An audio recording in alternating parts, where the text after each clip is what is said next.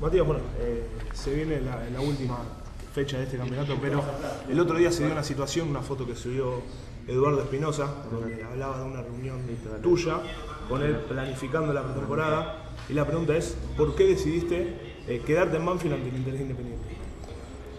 Bueno, en principio, buenos días. No, siempre que termina, digamos, el primer periodo como es este, que se va a terminar ahora después de este partido, nos reunimos para planificar lo que es pretemporada, los jugadores que, que se quedan, los que tienen posibilidad de irse, eh, un poco hablar de lo que fue el semestre. Eh, lo que pasa es que justo se juntó con, bueno, con un montón de, de- comentarios que hubo y, y de propuestas, pero nada, nada en especial. digamos. Y teniendo en cuenta el último partido, tratamos de, de trabajar esta semana, después de haber jugado contra Newell's un buen partido, eh, y tratar de cerrar, digamos, este ciclo con, con un triunfo por, una cuestión de que lo necesitamos, por la gente y por el grupo de jugadores que se ha esforzado bastante este semestre. De todas las ofertas que tuviste de acá y de afuera, eh, da la sensación de que en Banfield eh, tenés todo lo, lo que necesitas como para poder llevar adelante lo, lo que vos pretendés. Sí, ante todo agradezco a toda la gente que ha tratado de, de, acercarme propuestas, pero bueno, mm, digamos, no hay una decisión que haya dicho, yo siempre he escuchado todas con mucho respeto, con mucho agradecimiento también, eh, pero bueno, seguimos firmes en nuestro eh, proyecto y tratar de llegar a fin de año y que Banfield llegue de la mejor manera. En definitiva, acá lo importante es Banfield y no tanto las personas. ¿Sos de esos técnicos que quieren mantener sus contratos y sos de esas personas, porque en un momento también cuando estabas en River se habló de no mantener el contrato, cuando un equipo no mantiene los contratos, ¿te enoja eso? ¿Es por eso que vos decidís mantener el tuyo? Con respecto a eso tengo una- un pensamiento bastante particular y mío, digamos.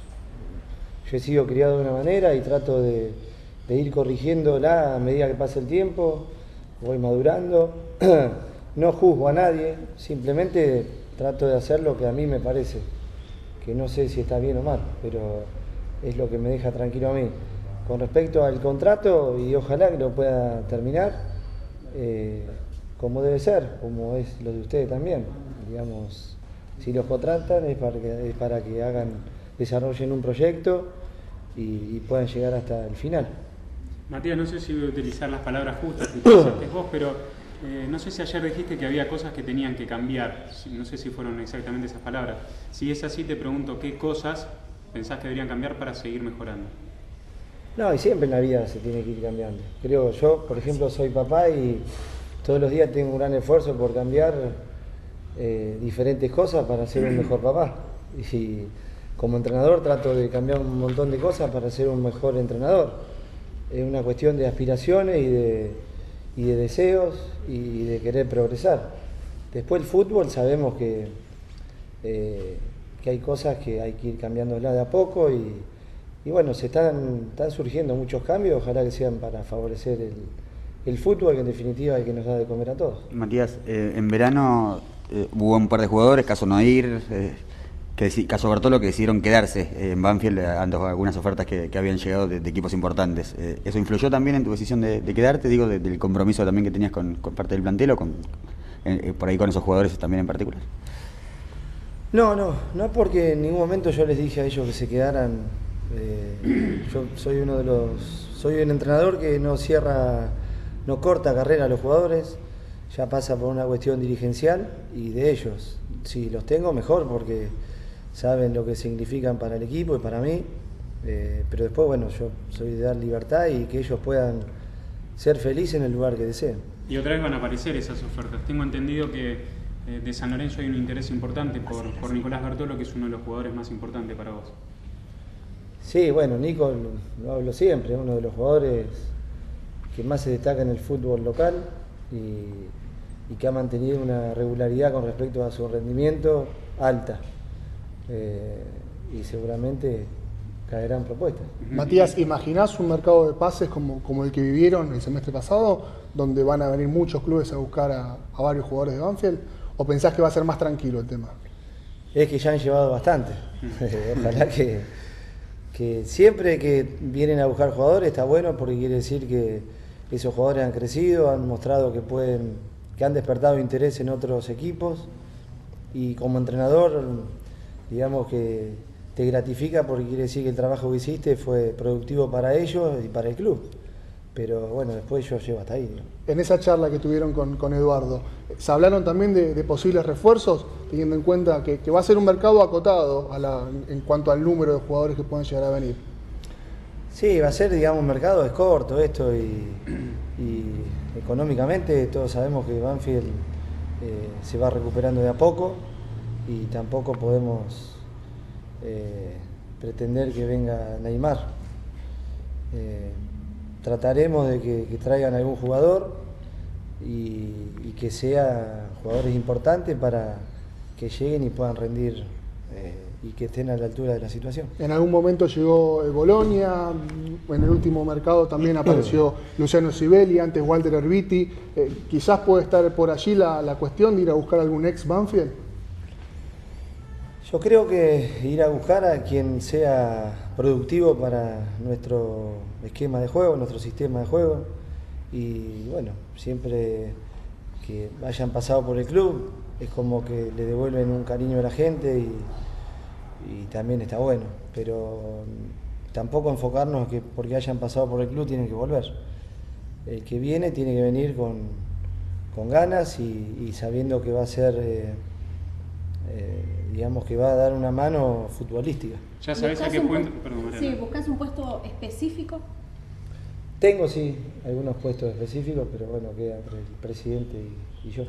Y, y eso también en base a los que se pueden llegar a ir, van a aparecer eh, quizás nuevos puestos o ya tenés eso en cabeza y no, no vas a ir por No, acá? hay una cosa también que es para aclarar que vamos a seguir apostando a lo que es el sector de inferiores, a tratar de, de fortalecer a aquellos jugadores que vienen asomando.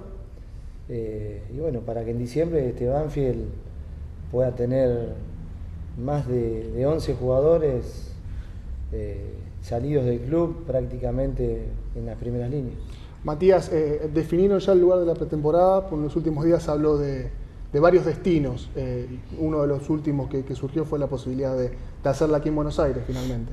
Sí, sí, estamos buscando, entre hoy y mañana definimos el lugar, va a ser acá en Buenos Aires, del día 18 hasta el 27, y estamos definiendo eh, la parte de, eh, de hotelería, canchas, eh, y un permanente contacto con la gente de inferiores, que nosotros siempre trabajamos con los chicos de- del club, y bueno, un poco de organización, pero ya antes de irnos de, digamos, previo al partido, todos ustedes van a poder este, estar informados con respecto al- a lo que va a ser la pretemporada y dónde.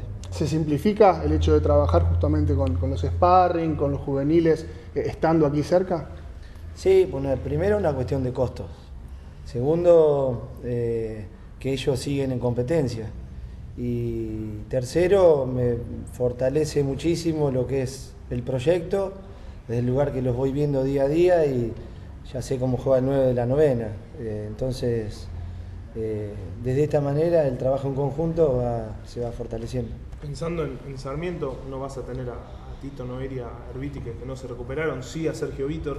¿Eso puede llegar a que cambies el esquema, que juegues con tres atrás o que mantengas la, la línea 4? Bueno, hoy hicimos dos partidos de fútbol y todavía no definí el, el- el equipo. Recién mañana por ahí haré un ratito más y, y ahí voy a definir. ¿Se le puede abrir una puerta a Requena ya que no, no lo tenés a Casares?